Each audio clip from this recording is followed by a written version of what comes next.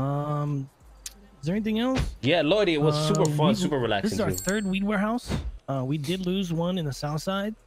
Um, the sinners actually are the ones that took that one from us in the south side. Oh, it wasn't fucking. It was oh, not static. shit. It was not like Who are the it- yeah. sinners? So it's a group of dudes. I mean, it's a gang, and they hang out at Gentry Manor. Um, but so Marcel knows them. He used to like roll with them or something, and like he So said they're they're like shooters. Old black dog dudes.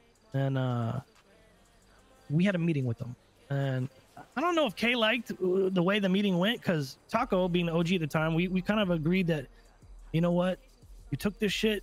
It was based off some snitch information. You know, you didn't know whose it was. They said they didn't want any beef with us. They said if there was any gang in the city they didn't really want beef with, it would be us. And uh, you know, Taco being the OG, he basically laid it down and said, know, all right, no smoke. Uh, get yourself a weed warehouse, and you know maybe we'll be trade partners or some shit like that. But uh, Kay, when he heard that, was not happy. So I don't know what Kay wants to do with that.